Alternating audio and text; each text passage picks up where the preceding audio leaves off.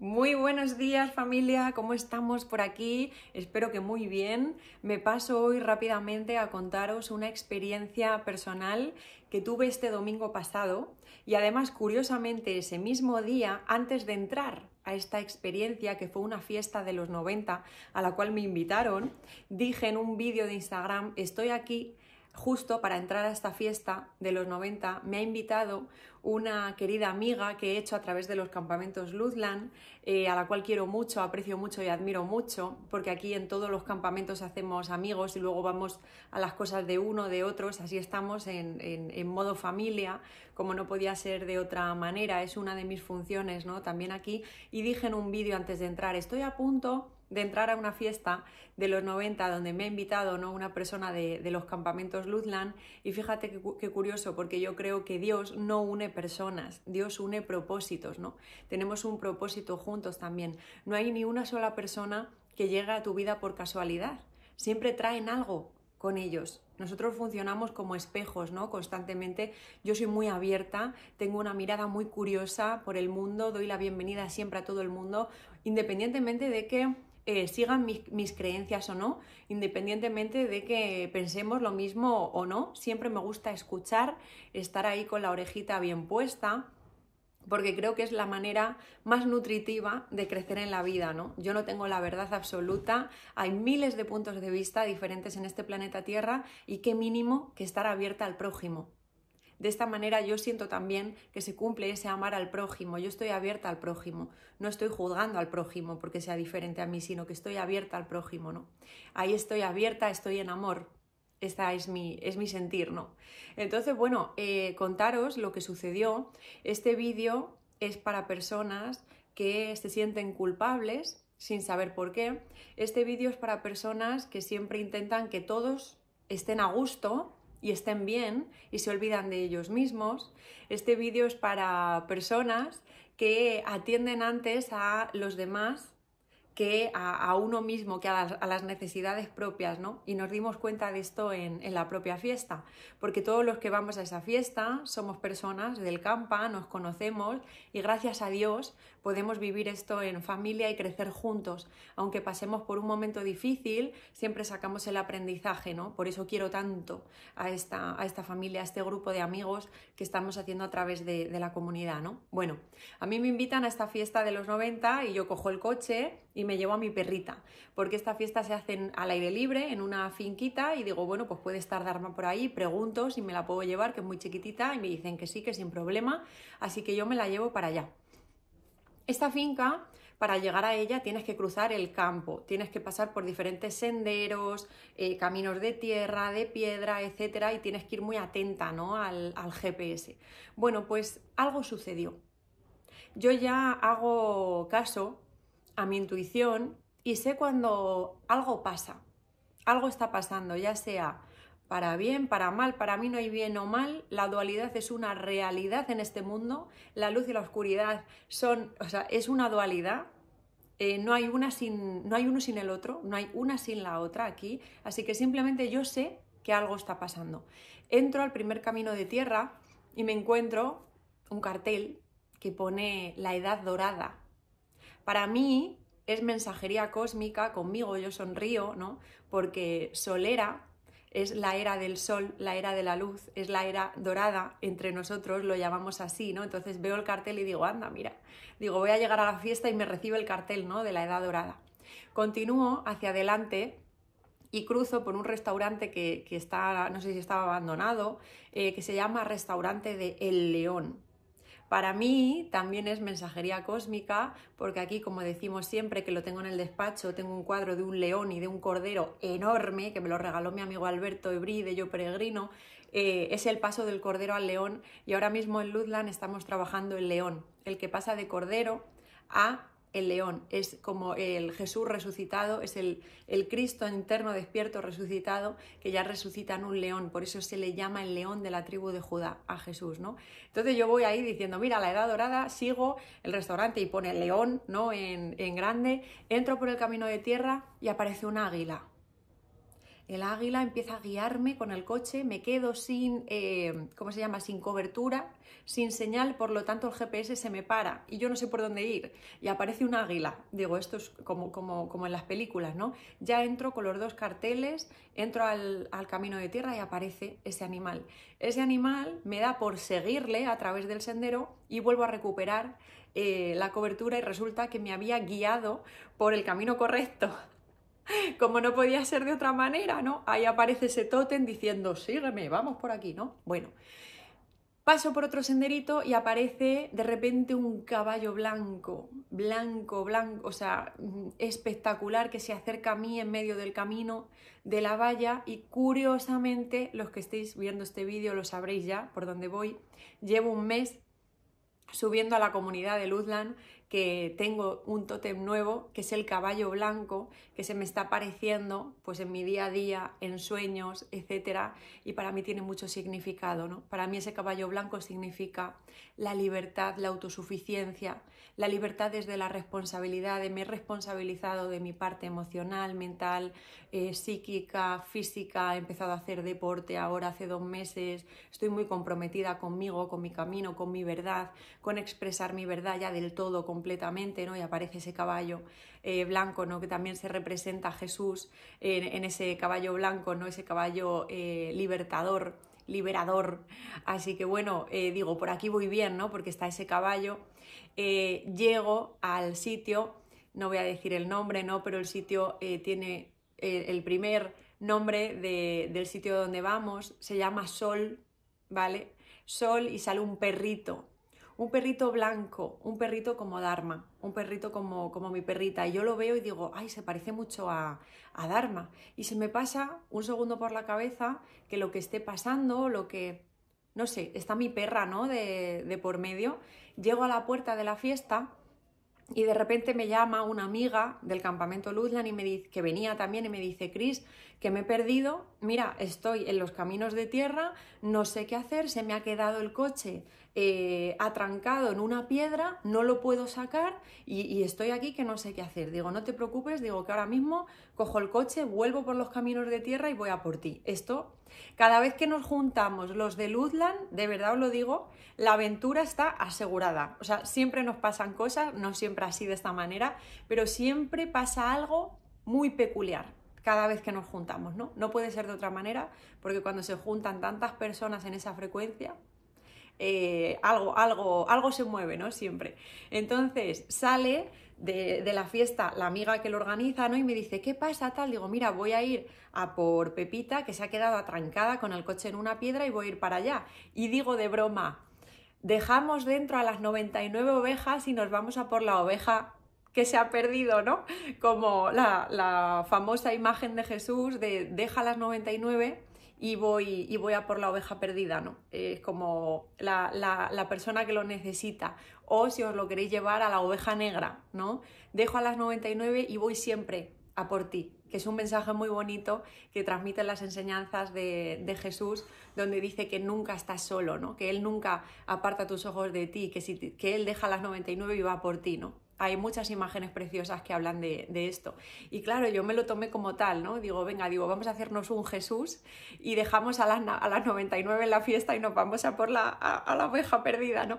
Llegamos a por la oveja perdida, eh, sacamos el coche de donde estaba y ya llegamos a, a la fiesta. Bueno, ¿qué ocurre? Que yo abro la puerta del coche y mi perrita, Dharma, sale se me escapa, o sea, sale escopetada, porque ella ya había estado en la puerta y había dicho, aquí hay gente, aquí hay gente. Ella es muy simpática, muy alegre, va a todo el mundo, ladra, ¡guau! Se va a otro grupo, ¡guau!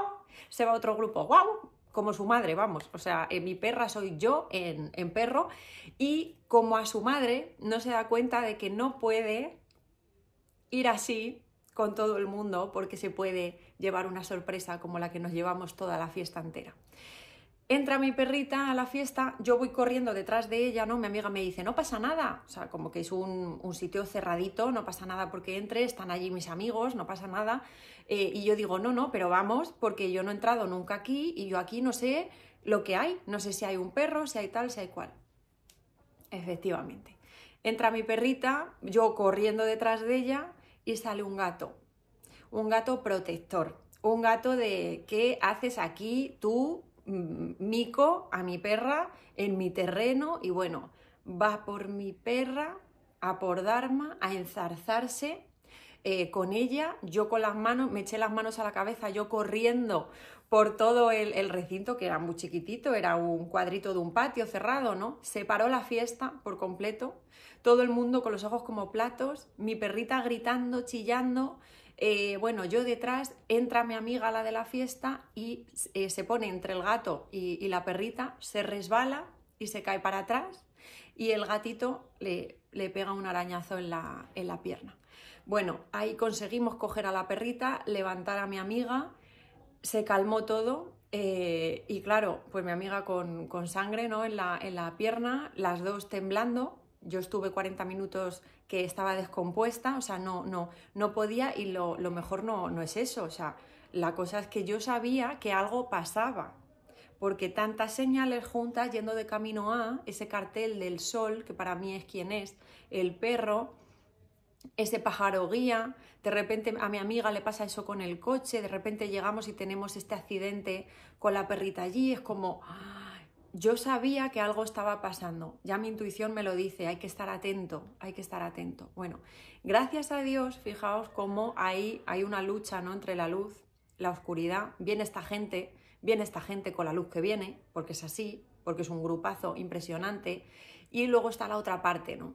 ahí intentando pinchar. Yo siempre digo que la luz siempre gana, y es así.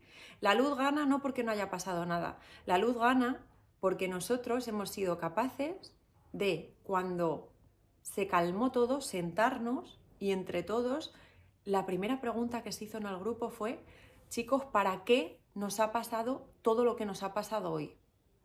Nadie dijo, pero bueno, ¿y esto cómo? ¿Y por qué? Y fue un momento muy difícil y muy duro, yo lo cuento relativizándolo, pero fue un momento de mucho susto, de mucho miedo, de ver si mi amiga se había dado con la cabeza en el suelo, de ver si le habían hecho algo a Dharma, que para mí es como una hija, me enseñó también el apego que tengo con la perra y que tengo que trabajarlo, eh, porque, porque está, soy muy aprensiva con ella, me enseña también a, oye, también pasan cosas en la vida, no, pasa nada, esto te podía haber pasado en cualquier sitio, fue un accidente, ella salió antes del coche, no me dio tiempo a mí a, cogerla, a mirar, ya lo sé para, para, otra, generalmente ella va siempre con su correíta atadita, pero pues ahí una, una casita en medio del campo salió corriendo y yo no me di cuenta, ¿no? Salió antes que yo del coche. Y ahí entra la culpabilidad. Ahora hablamos de esto, pero fíjate, en el círculo lo que se dice es para qué ha pasado esto, ¿no? Podía haber pasado eh, una catástrofe con el coche de mi amiga, que, ese día hubiera venido la grúa, tener que ir todos allí, que se hubiera parado todo lo que, lo que había que hacer en ese día, que se hubiera pinchado la rueda de su coche, que hubiera pasado algo más gordo, no pasó. Luego lo de la perrita, a Dharma le podía haber pasado algo porque era un gato grande, a por ella a tope y ella es muy chiquitita, le podía haber pasado algo, no le pasó nada, a mi amiga simplemente pues un arañazo en la pierna, tampoco le pasó nada, pero sí que es cierto que tuvimos el susto durante mucho tiempo eh, a lo largo de la fiesta y de hecho yo en otra época de mi vida posiblemente me hubiera ido porque ese tembleque que tenía y lo aprensiva que soy con, la perra no me hubiera dejado disfrutar de ese momento y hubiera sentido que, que hubiera hecho más mal que bien mi presencia. Fijaros, ¿eh? Y en ese momento pues decidí quedarme y decidí, Cris, enfréntate a esta oscuridad, eh, sostén esta incomodidad, junto con tu amiga también, que le acaba de pasar esto, vamos a sostener juntas esta incomodidad a ver qué nos trae, ¿no? Bueno, nos lo pasamos súper bien en la fiesta a pesar de lo, que, de lo que pasó, ¿no? De lo que sucedió. Y claro, al día siguiente y por la noche llegan las culpas. Mi amiga me confiesa que ella se siente muy culpable por lo que ha pasado, porque claro, ella es la que nos invita a ese sitio, ella no sabía que ese gato iba a reaccionar de esa manera, etc. Y en el momento en el que mi amiga se siente culpable, yo me siento culpable por mi amiga. Y claro, ahí la, la, conversación de las dos juntas, porque Dios no une personas, Dios une propósitos. Nos sentamos las dos a hablar. Eh, por, teléfono, ¿no? En, este caso, y digo, amiga, tú y yo somos muy parecidas. Fíjate que en la fiesta eh, nos pasó a nosotras esto. Tú, ella, estuvo intentando que todo el mundo estuviera bien y a gusto y cómodo en la fiesta y ella se, había dado un golpe brutal. Se había caído y sin embargo estaba con las bebidas, con las comidas, estáis todos bien, lo estáis pasando bien, etcétera, etcétera, ¿no? Esa, esa autopresión y autoexigencia de que esté todo el mundo bien y yo me acabo de caer, me acabo de dar una leche, he pasado un susto increíble y no me estoy permitiendo estar yo como tengo que estar y los demás que, estén a gusto, que ya son mayorcitos y saben coger sus comidas y, y, sus cosas, ¿no? Luego yo por mi parte también ahí intentando estar con la frecuencia alta para que nadie se preocupara por mí ni por la perra y que estuviera todo el mundo a gusto, ¿no? Y claro, al día siguiente nos encontramos las dos y nos damos cuenta, ¿no? De lo que pasa. Mira, eh, corazón, lo mismo que a mí, tú con tu culpa por mí, yo con mi culpa por ti, y nos damos cuenta de que, claro, eh, os, dais cuenta de que, de que sois muy prudentes las dos para que todo el mundo siempre esté bien y vosotras sois el último mono independientemente de lo que os pase, ¿no? Eh, esto tiene que ver con un trabajo con la culpa y os llega para que entre las dos trabajéis esto que tenéis. Yo la culpa que siento por ella, por mi perrita, por lo que ha pasado, ¿no? Eh, ese momento en el que yo me siento irresponsable porque no, no, la pude coger a tiempo y entró para adentro, gracias a Dios no pasó, no pasó nada y todo tiene un para qué, como podéis ver, y ella la culpa de habernos invitado, no saber que estaba ese gato con esa disposición con otros animales y que le hubiera hecho algo a Dharma, ¿no? que para mí es mm, la, cosa que más quiero ¿no? en, el, en el mundo. Y ahí nos damos cuenta las dos de que en la vida pasan muchas cosas que no podemos sentirnos culpables cuando algo se escapa fuera de nuestro control, podemos ser responsables de cómo nos tomamos esto que nos pasa. Además, ya nos habían avisado y me dice mi amiga, ¿te puedes creer que esta mañana me he levantado y he hecho una protección? No suelo hacerlas, hoy veníamos de fiesta, tranquilos, y hoy esta mañana me he levantado y he hecho una protección. Y digo, pues fíjate si la tenías que hacer. Y yo venía por el camino diciendo, hoy pasa algo, hoy está pasando algo. Y efectivamente, ni más ni menos que la, liberación de la culpa de nuestro cuerpo, ¿no? El sentirnos culpables constantemente hasta por cosas que no sabemos, sentirnos culpables si los demás en la fiesta no están a gusto o no se lo están pasando bien y tener que estar sobre encima ¿no? de las cosas que, que, pasan. Yo se lo digo también, digo, mira, yo los campamentos me verás con mil ojos siempre para que esté todo el mundo cómodo, pendiente de todo, etcétera, es mi trabajo, ¿no? Pero sé que a veces, pues, em, eso por dentro para mí me sobrepasa, porque a veces en ciertos momentos yo necesito también descansar como organizadora, sin embargo estoy al 200% cuando la gente está bien, ¿no? La gente está tranquila, la gente está bien. Y claro, le digo a mi amiga, vamos a ver ahí eh, el terminar ya de mirarnos, el que, que de esta manera, estando para el otro, tú te vas a sentir, nos vamos a sentir amadas y vamos a estar amando al otro. Y si no hiciéramos eso ese día, en ese momento, seguimos siendo amadas por el otro y seguimos amando al otro. Así que vamos a liberarnos ya, que esto nos ha pasado para, para hacer esto, de esa eh, culpa de tener que llegar a todo y esa vergüenza por lo que ha pasado, porque somos seres humanos y nos puede pasar cualquier cosa en cualquier momento, ¿no? Lo importante es cómo nos lo tomamos eh, nosotras. Y justo qué curioso, que lo he dicho antes, antes de entrar a la fiesta subo un vídeo y digo, estoy aquí por mi amiga, estoy segura de que Dios no une personas, une propósitos y se cumple. Unos minutos después se cumple ese, ese propósito con mi amiga. Y claro, nos ha unido más, nos ha hecho más conscientes y nos ha liberado de esa vergüenza, de esa culpa y de esa sobreexigencia que tenemos de que todo el mundo esté bien constantemente sin mirarnos a nosotras mismas en ciertas ocasiones primero, ¿no?